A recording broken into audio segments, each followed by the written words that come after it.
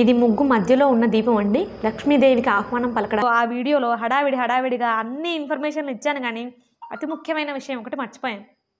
అదేమిటంటే హ్యాపీ దీవాలి మీరు చూస్తున్నది సింప్లీ విత్ స్పందు అంటే ఇంగ్లీష్ రాని వాళ్ళు కూడా ఉంటారు కదా వాళ్ళ కోసం అన్నమాట. Hi friends this is Spandana welcome back to my channel simply with Spandu చూపు ఎక్కడో ఉన్న మాట మాత్రం మీ దాకా వస్తుంది. ఎందుకంటే నిజంగా చెప్తున్నానండి దీపావళి పనుల్లో ఆడవారు చాలా బిజీగా ఉంటారు నేను కూడా బిజీగానే ఉన్నాను. కాబట్టి నేను యాక్చువల్లీ మీకు వెళ్ళేటప్పుడు నేను మార్నింగ్ ఒక వీడియో పెట్టాను. త్రీ ఓ క్లాక్ పెడితే అది ఫైవ్ ఓ క్లాక్ వచ్చింది మీకు. సో ఆ వీడియోలో హడావిడి హడావిడిగా అన్ని ఇన్ఫర్మేషన్లు ఇచ్చాను కానీ అతి ముఖ్యమైన విషయం ఒకటి మర్చిపోయాను. అదేమిటంటే హ్యాపీ దీవాలి అందరికీ. అసలు హ్యాపీ దీవాలి అని మన సబ్స్క్రైబర్స్కి చెప్పకుండా పరుగులు తీసి వెళ్ళిపోయాను. ఒక వస్తువు కొనుక్కుందాం ఇంటికి తెచ్చుకుందాం అనేసి. సో ఆ వస్తువు నేను ఎలా పూజ చేశానో ఆ పూజ మీకు చూపిస్తాను. కానీ బ్లాగ్ చేస్తానని చెప్పాను. నేను వచ్చేసరికి బాగా లేట్ అయిపోయిందండి. ఎక్కడ ముహూర్తం మించిపోతుందో అని చెప్పేసి యమదీపం పెట్టడానికి కంగారు కంగారుగా వచ్చేసాను. యమదీపం పెట్టేసి అమ్మవారిని ఆహ్వానించేసి నేను కూడా అమ్మవారితో కూర్చుండిపోయి ఉన్నానన్నమాట. అందుకే మీకు లాగన అనేది చేయలేకపోయాను. కానీ నా డెకరేషన్ ఎలా చేశాను? కొన్ని మీకు తెలియని విషయాలు ఏమైనా ఉంటే చెప్తాను ఇన్ఫర్మేటివ్గా సో దానికంటే ముందు నేను పూజ ఎలా చేసుకున్నానో టూకీగా చెప్తాను. మీకు నచ్చితే ఆచరించండి. ఒకవేళ మీకు తోచినట్లుగా మీరు చేసుకుంటే అలాగే చేసుకోండి. నేను అమ్మవారి దగ్గర కూర్చుని చేసింది ఏంటంటే అష్టోత్తరం చదివాను కనకదార స్తోత్రం చదివాను. కనకదార స్తోత్రం చదవడం వల్ల మీకు చాలా ఉపయోగాలు ఉంటాయండి అది నేను చెప్పను. ఎందుకంటే నేను ఎవరికి వారు వాళ్ళు నమ్మిన వారికి మాత్రం నిజంగా మంచి జరుగుతుందండి. కనకదార స్తోత్రం చదివితే. కాబట్టి కనకదార స్తోత్రం చదివాను. ఇక్కడ మీకు ఒక సీక్రెట్ చెప్పాలనుకుంటున్నాను. ఈ మధ్యకాలంలోనే నాకు తెలిసింది ఏంటంటే మన ఇంట్లో ఇంటి యజమాని ఎవరైతే ఉంటారో వారు పూజ చేస్తే ఇలాంటి పర్వదినాల్లో కనీసం వారు పూజ చేస్తే ఇంటిళ్ళ పాదికి వస్తుందట. ఆ పూజా ఫలం అనేది. కాబట్టి ఎలాగోలాగా మొండి పట్టు పట్టో ఏడ్చో అలిగో ఏదో ఒకటి చేసి మీ వారిని అమ్మవారి ముందు దీపాల వెలుగులో ఉన్న అమ్మవారి ముందు కాసేపు కూర్చోబెట్టండి. సో అదన్నమాట సంగతి.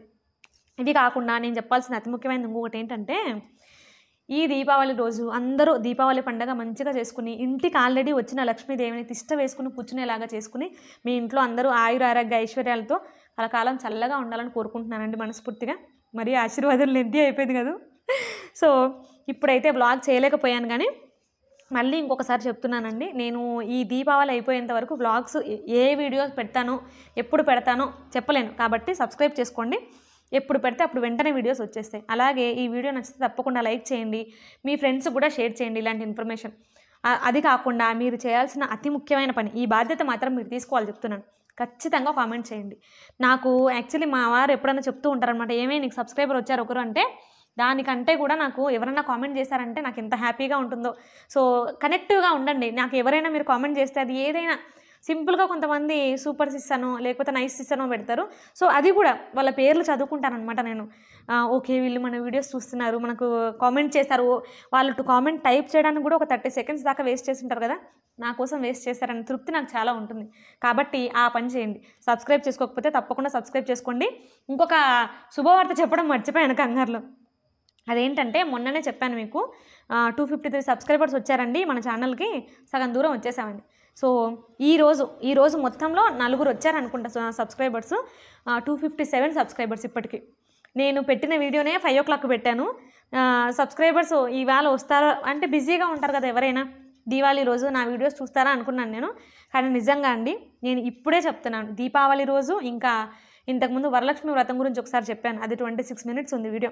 సో అది చూస్తారా అనుకున్నాను నేను. అప్పుడు కూడా సబ్స్క్రైబర్స్ వచ్చారు. నాకు ఏదైనా పండగ రోజు ఏది ఎవరికైనా చెప్తే పిచ్చి అనుకుంటారు కానీ అమ్మవారు నిజంగా నిరూపించుకుంటారండి ఇదంతా. కాబట్టి నేను మాట్లాడుతుంటే నాకు టైం తెలియకుండా మాట్లాడుతూనే ఉంటారు కానీ మీరైతే వీడియో చూసేయండి. నేను కొన్న వస్తువు నేను చేసిన డెకరేషను ఆ కొన్న వస్తువు వెనుకున్న కథ కూడా చెప్పాను. సో బై బాయ్ ఎందుకంటే నేను మళ్ళీ వీడియోలో కనపడను. ధనత్రయోదశి రోజు యమదీపం పెడతారు అని చెప్పాను కదండి. యమదీపం ఇదే. ఇలా మూడు దీపాలతో పెట్టుకోవాలన్నమాట.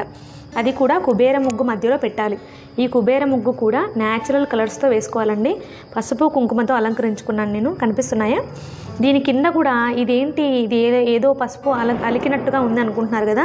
మామూలుగా మనం పేడ అలికినట్టు పసుపు అలికి అంటే కుబేర ముగ్గు కూడా కూడా కింద ఆసనం వేయాలన్నమాట. ఇంకో విషయం ఏంటంటే కుబేర ముగ్గు వేసిన తర్వాత కంపల్సరీ ఇలా బంధనాలు వేయాలట నాలుగు దిక్కుల. ఈ కుబేర ముగ్గు కూడా ఎక్కడ పడితే అక్కడ వేసుకోకూడదండి. ఈశాన్యం మూల మాత్రమే వేసుకోవాలట. అది నాకు ఈ మధ్య తెలిసింది. కాబట్టి నేను ఇలా ఈశాన్యం పక్కన చూసుకుని కుబేర ముగ్గు వేసి దాని మధ్యలో యమదీపం పెట్టాను.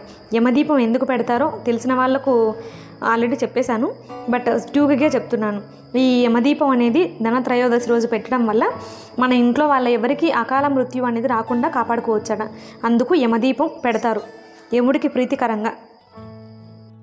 ఇది ముగ్గు మధ్యలో ఉన్న దీపం అండి. లక్ష్మీదేవికి ఆహ్వానం పలకడానికి వెలిగించిన దీపం. అమ్మవారి పాదాలను చెప్పాను కదా అమ్మవారి పాదాలు నేను ఇలా వేసుకున్నాను. టైం లేకపోవడం వల్ల ముగ్గు ఏదో అలా అలా వేసేసాను కానీ లేకపోతే ఇంకా మంచిగా వేసుకునేదాన్ని. సో ఈ పక్కనన్ని అలంకరణ కోసం చూడ్డానికి ముచ్చటగా ఉండడానికి వేసుకున్నాను. అమ్మవారి పాదాలు కరెక్ట్గా మనం ఇంట్లోకి వస్తున్నట్టుగా వేసుకోవాలన్నమాట. ఇప్పుడు లోపల అమ్మవారి అలంకరణ చూద్దాం. దీపం వెలుగులో చూపిస్తే బాగుంటుంది అని చూపిస్తున్నాను. మళ్ళీ లైట్ వేసిన తర్వాత కూడా చూపిస్తాను. అమ్మవారు మధ్యలో ఉన్నారు కనిపించారా? దీపాల వెలుగు సగమే వచ్చింది కాబట్టి దీపాల వెలుగులో అమ్మవారు ఇలా ఉన్నారనమాట కింద ఆకులతో ఆసనం వేసి ఇలా అలంకరించారు. నిజం చెప్తున్నానండి అలంకరించింది నేను మాత్రం కాదు. మా హస్బెండ్ అలంకరించారు. ముందు అయ్యవారికి చేయాల్సిన సేవలన్నీ చేసేసి ఆయన దగ్గర పర్మిషన్ తీసుకుని ఇప్పుడు అమ్మవారికి చేసామన్నమాట. ఇక్కడ ఉన్నది రాగి కాయిన్ ఇది గజలక్ష్మి అమ్మవారిది. ఎంతో కష్టపడి వెతికి మరీ పట్టుకున్నాం అనమాట ఇది కూడా ఇది నెల పూజించాలో మళ్ళీ ఎప్పుడైనా వేరే వీడియోలో చెప్పుకుందాం. సో మొత్తం అయితే టోటల్గా ఇది? బంగారం ఇంట్లో ఉన్నది పెట్టాలంటారు కదా? సో నా బంగారం ఇంట్లో ఉన్నది ఇదన్నమాట. పాలతో కడిగిన తర్వాత మళ్ళీ నీళ్ళతో శుద్ధి చేశాను. బయటికి వెళ్ళి ఏదో ఒక కొత్త వస్తువు తెచ్చుకోవాలంటారు కదా? నేను తెచ్చుకున్నది ఏంటో తెలుసా? అమ్మవారు. వెండి అమ్మవారు. వెండి అమ్మవారిని తెచ్చుకున్నానమాట సో పాయసం ప్రసాదంగా పెట్టేసి నైవేద్యంలో కంపల్సరీ ఉండాల్సింది దానిమ్మ పండు. గింజలున్న దానిమ్మ పండు పెట్టేశాను అనమాట టోటల్గా ఇది అలంకరణ. ఇప్పుడు లైట్ వేసిన తర్వాత ఎలా ఉందో చూద్దాం. లైట్ వేసిన తర్వాత కనిపిస్తున్నారు కదా అమ్మవారు.